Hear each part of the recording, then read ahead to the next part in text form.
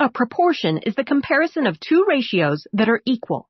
Proportions are used to find missing segments in similar figures, solve percent problems, and to make predictions given a pattern of events. One everyday example of proportional math that Alexis and Jamal might encounter if their band is successful is t-shirt sales. If 15% of the concert audience buys a t-shirt at the local competition, how many shirts would they need to have on hand? And let's say they make it to the nationals. How much larger is the national audience? Should they still count on 15%? These are questions they can address if they know how to work with proportions. Let's look at some proportion equations related to the big show and to Alexis and Jamal's high school.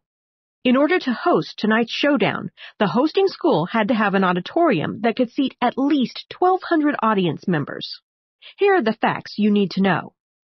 Rockport's auditorium will hold the entire student body and faculty. Rockport High has 45 students for every two teachers at the school and has a total of 60 teachers on staff.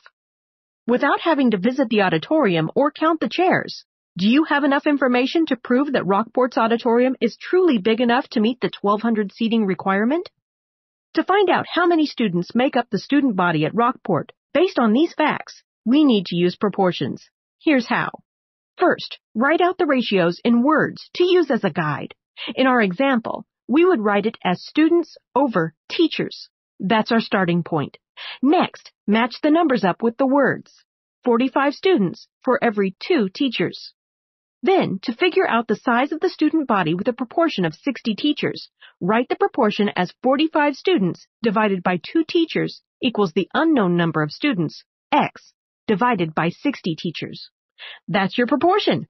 Now let's solve our Rockport High puzzle.